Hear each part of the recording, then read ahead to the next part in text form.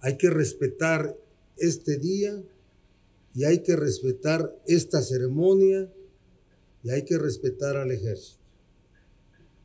Yo como gobernador del estado así me pronuncio. Porque esa es nuestra convicción, señor general de división, jefe de la 25 zona militar.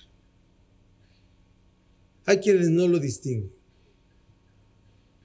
quienes no deberían de estar en ninguna función pública porque no distinguen los hechos, las celebraciones y viven en la, en la simulación y en la ofensa y en la doble moral.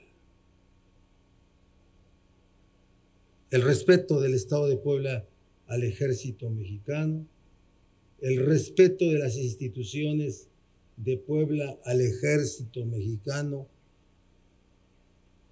Y de verdad que esta ceremonia sea la ceremonia con más vocación de reconocimiento a ese sacrificio de mexicanos, niños, mexicanos, jóvenes, ejército siempre, con valores, con principios, con convicciones, con disciplina.